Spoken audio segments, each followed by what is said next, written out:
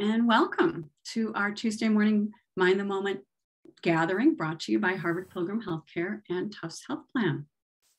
As you all know, this is a place where we invite experienced mindfulness instructors to speak with us about what mindfulness means to them, and then to discuss as a community how we can incorporate these practices into our daily lives.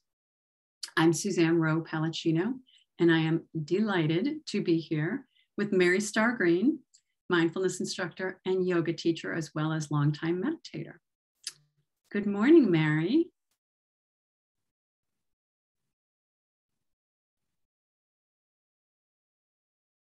Are you there?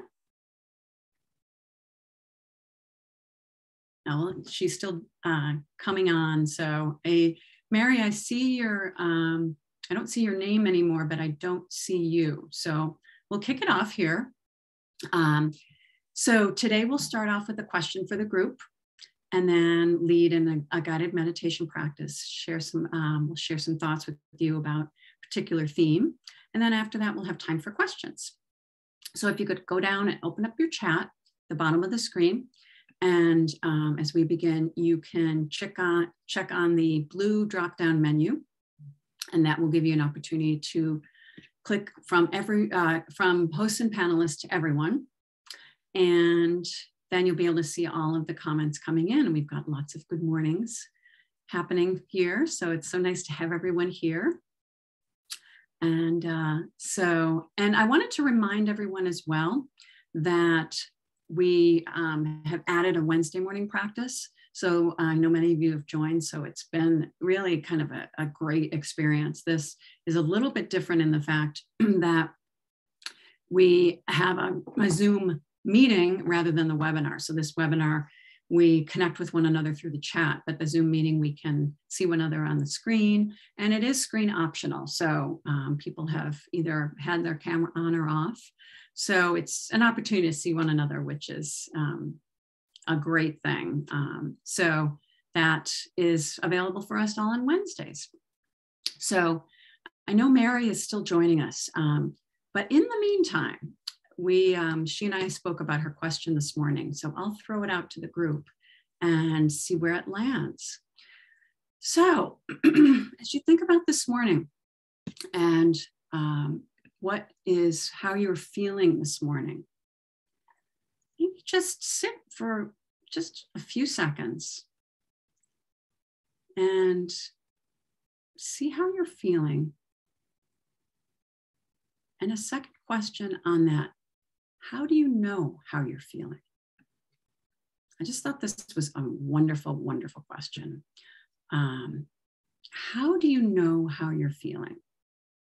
So just type into the chat. Uh, Mary, I just shared your question, so we're all good. Um, so I asked the question, and you maybe you can reiterate your thoughts on that. But we, um, how I mentioned to the folks, how are they feeling, and how do you know how you're feeling. Exactly. Um, Thank you.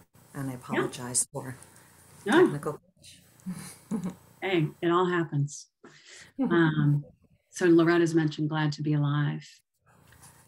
You know, is not it interesting this crazy time that we've been in?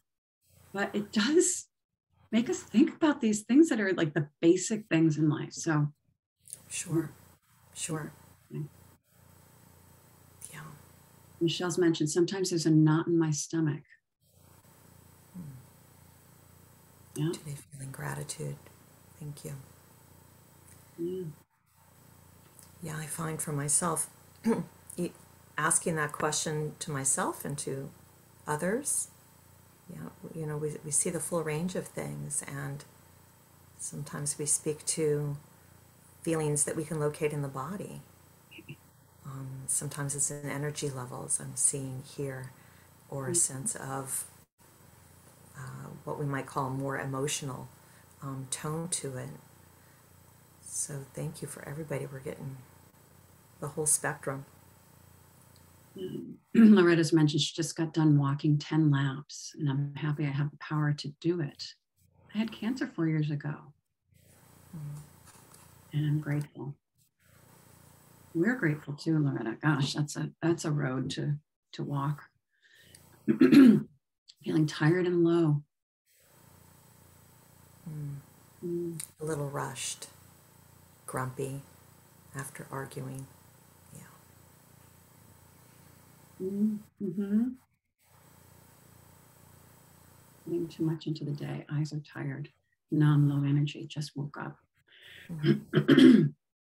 yeah, I know. I um, when I think of the how do I know how I feel, I very much, and I know we're talking about embodiment, but I, my body tells sometimes I have such a connected connection to my body. Mary and I were talking about how sometimes if, we, if I don't stretch in the morning, I feel it the entire day. Um, I didn't stretch this morning. Um, I know I will at some point, but I just have to get the cricks out. more and more. It's important more and more. Uh, um, yeah. Yes. I just want to acknowledge I know how I'm feeling because inside I seem to have a conversation with myself. I love how that is. Um, yeah. yeah.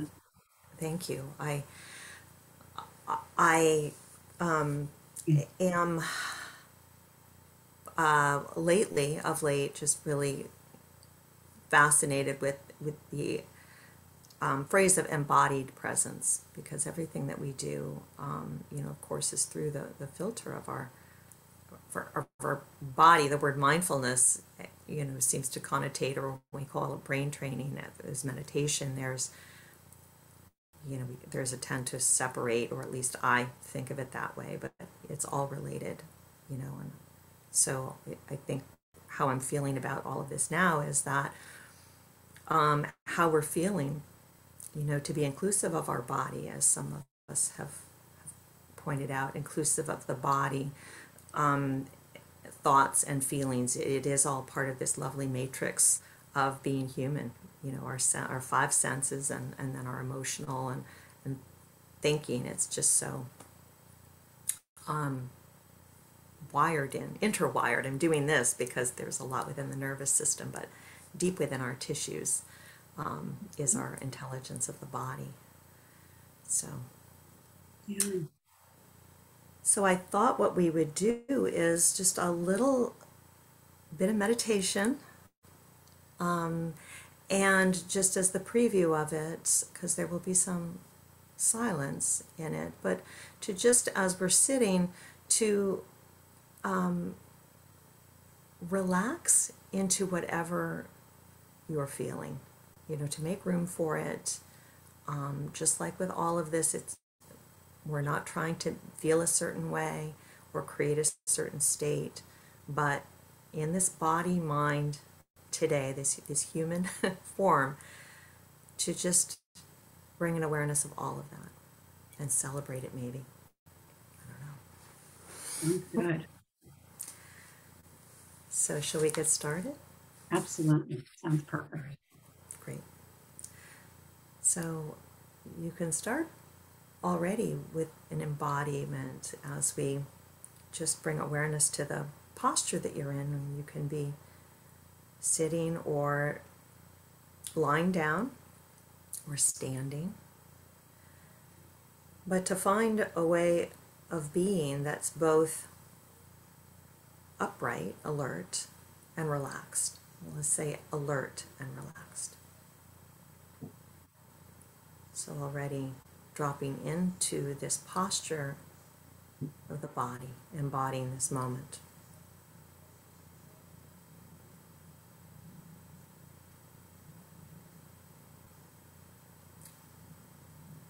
And then perhaps even asking the question, what am, what am I aware of now? What am I sensing now? And just seeing what comes up.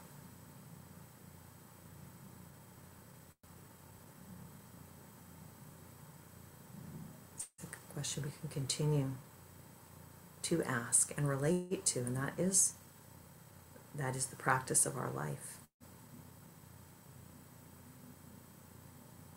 So as we continue to sit, what may be foremost in your attention, in your sensing, has to do with your five senses, right? Touch, smell, hearing, taste, um, seeing.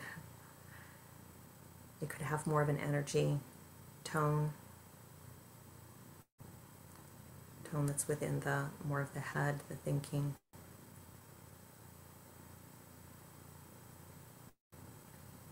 Sensing something that's more emotional. And these are just, these are words, but how do we know?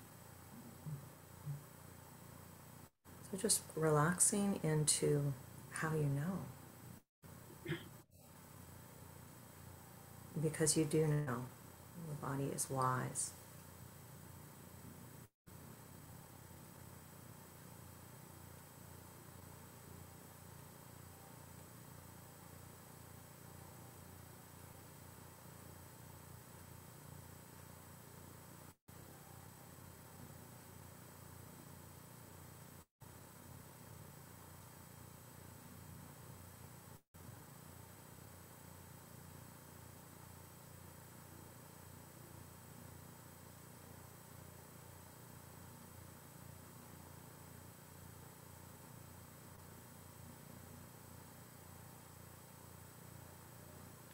Sitting and embodying presence, which may be pleasant, which may be unpleasant, and which may just be there. We just continue, continuing to be with what is in the moment.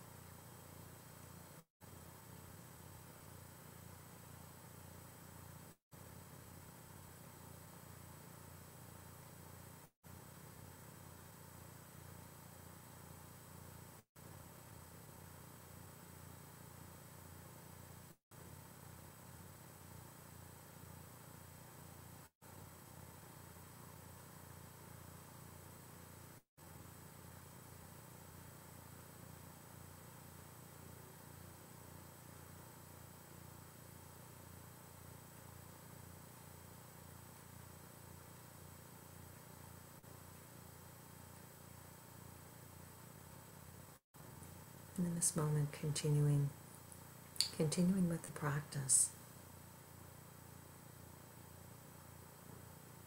Within this body, mind, breath,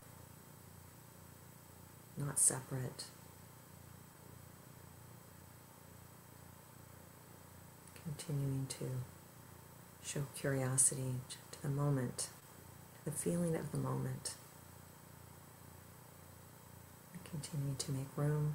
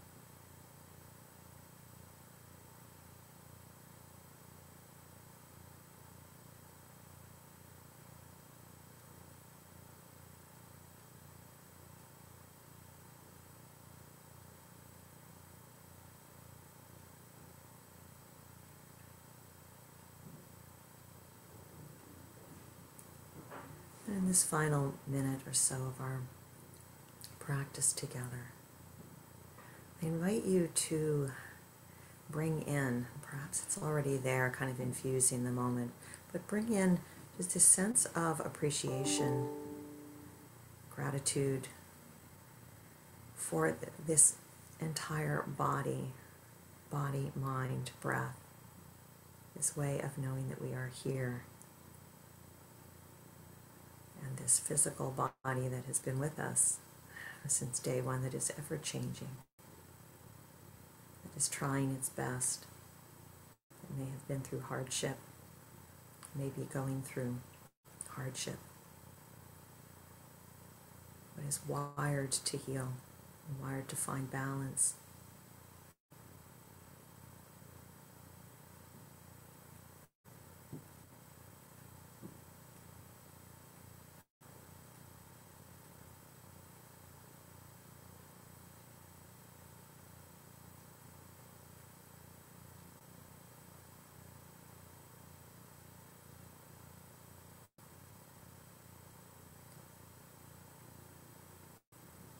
As we prepare to end this formal practice of meditation, maybe a deeper breath or bringing movement into the body, fingers and the toes. And if your eyes have been closed, just take that kind of gentle transition of opening the eyes and reconnecting with the three dimensional space around you and with this lovely community that we have in front of us. Thank you so much, Mary. Yeah. Um, it's it's a um,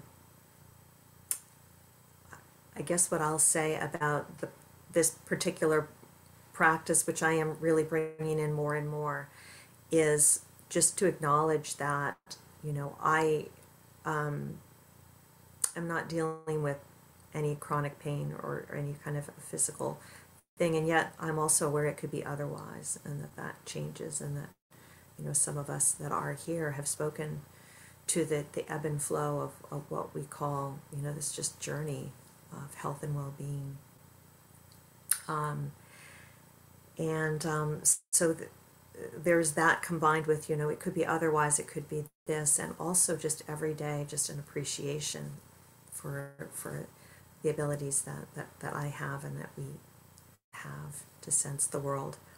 Um, through our body, which of course does, when I'm saying this, it does include the emotions and the thoughts, and that it doesn't have to be great. It just is, is what it is, and showing up for that is the journey.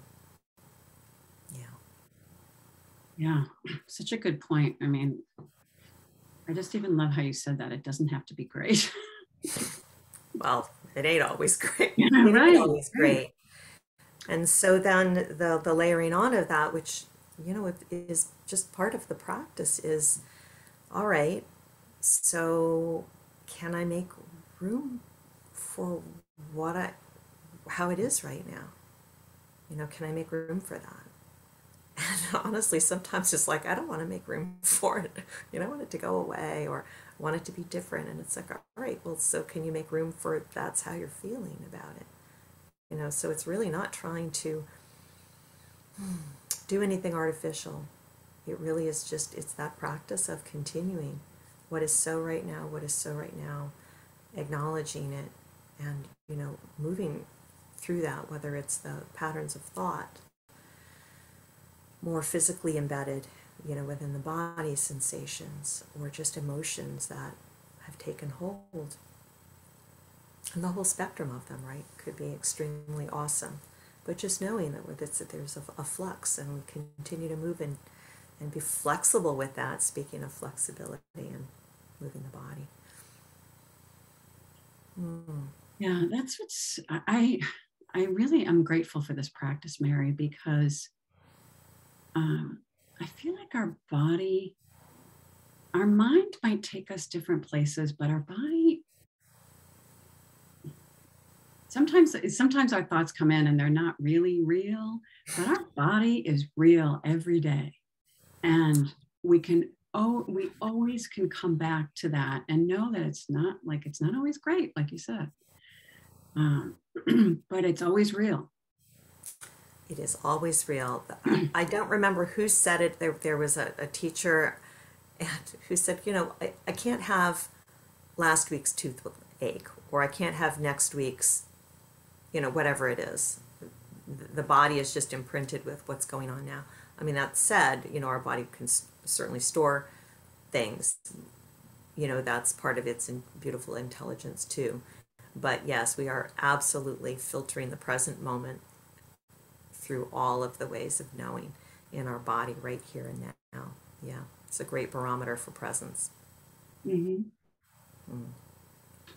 Yeah, yeah and um, someone was acknowledging the phrase um, acknowledge what is right now um, it, it makes me think about someplace i read about when you were calling to mind the five senses as we were sitting that if you are connecting to one of those five senses you cannot be doing something else so if you're connecting to some sound you, it's you can't really be doing something else. The, the brain doesn't process things that way. So if we are in our body in those five senses, that it allows us to just be in the present moment. Even for that brief amount of time, right? You know, even if it's just touching in these brief moments, it's like there it is. And, you know, that's what I love about the practice, you know, because there it is again. yeah. you can touch away and then it all it comes back. Yeah. So I'm, I'm going to share um, just on this feeling of um, connecting to our bodies and connecting to one another too. We had just a wonderful community this morning. Um, this is the, the link for our session tomorrow. And this is the um, just in in transitioning from the wonderful work that Mary has um, shared with us this morning. I'm going to be talking about interbeing tomorrow. Um, and that's a term that Thich Nhat Hanh, who's just recently passed, just a renowned meditation teacher, brought into the world. Um, just because we had such a large community, uh, Mary, you you bring the crowds. oh my! Wow. We yeah we had a really, it's the plants, Suzanne. I think yeah. maybe just the greenery came in today. I don't know. I think it's a combo, but um, I uh, I wanted to when we talk about the body and interbeing and and his Thich Nhat Hanh's concept. That's what we'll be discussing tomorrow. And tomorrow is a um, is a web, webinar format. I'm sorry, a, a Zoom meeting format. So that will be where we can see one another and and come and have conversation. And don't work, you know, if you want to put your your uh, camera on first thing, mine will be on. So, um, but that concept of interbeing, where we as humans, plants, animals, how we influence one another, and also how we can connect during this time where we're a little less connected. So, just a little conversation about that. Just a little teaser. oh, that's wonderful. Wonderful. So glad to have you here this morning, Mary. It was wonderful, wonderful, wonderful. So, well, I am grateful, grateful to be here with each and every one of you. And um, yeah, just, you know, have a, just have a day ahead, you know, um, have a wonderful day ahead and perhaps just being within the body um, in a wonderful way. So, yeah, sounds good. Well, thank you for your time and Mary and being with us. And thank you to everyone that's joined and hope to see you again. Have a good rest of your day.